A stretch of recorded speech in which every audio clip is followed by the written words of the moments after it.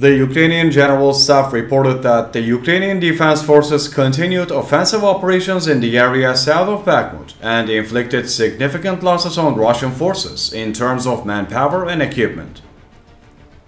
The governor of Russia's Belgorod region, Vyacheslav Gladkov, said in a statement that three settlements in the region were left without electricity as a result of cross-border shelling by Ukrainian armed forces.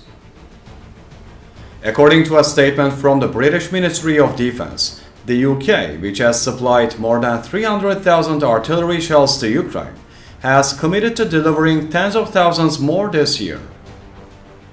In a statement made by the Russian Defense Ministry, it was stated that an Su-34 fighter jet crashed in the Voronezh region during a planned training flight around 10 p.m. local time, and the crew of two escaped unhurt with the seat ejection system.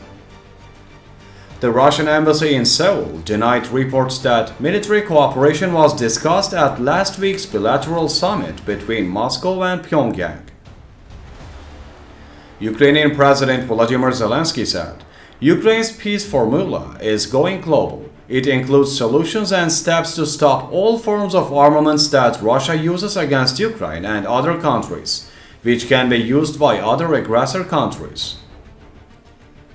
In his speech to the UN General Assembly, US President Joe Biden called on the international community to stand united against Russian aggression in Ukraine.